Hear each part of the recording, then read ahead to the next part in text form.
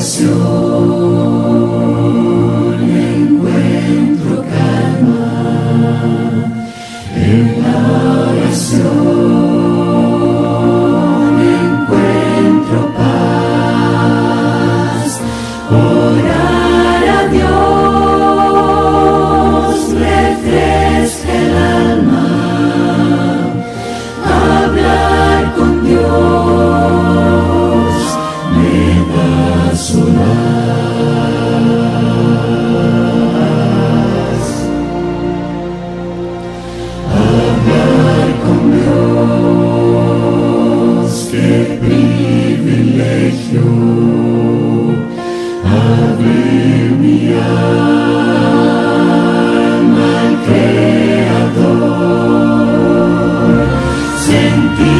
que el cielo